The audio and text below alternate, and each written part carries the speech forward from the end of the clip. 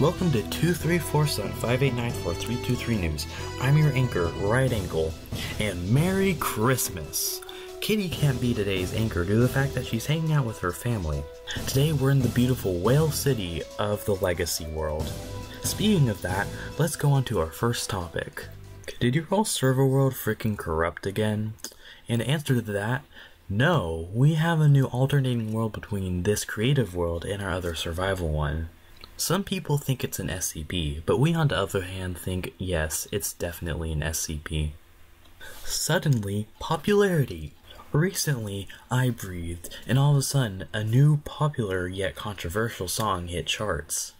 This is kind of a problem, considering the fact that it was made just 5 seconds ago and it's already the most popular song of 2019.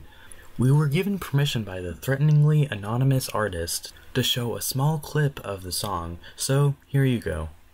Sometimes I feel I've got to run away. Hey you, yes you, you freaking idiot tomato. Say artisans. Now take out the art apart. Did you get? No, it's it's not Sins, it's Sans. You ruined the joke. Now, we got you all a Christmas present from our guest speaker, an award winning ice cream cone, Jimmy Neutron. What do you have to say to the audience, Jimmy? Gotta be. Um, well, thank you for that, Jimmy. Now for our next topic.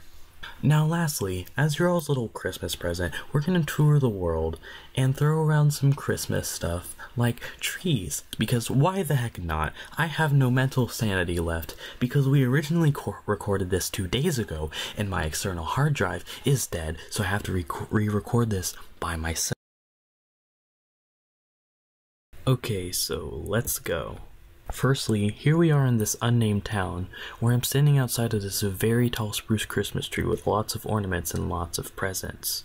This town has been growing very rapidly with a new conservatorium, aquarium, an island with a mage tower, and houses above and below water.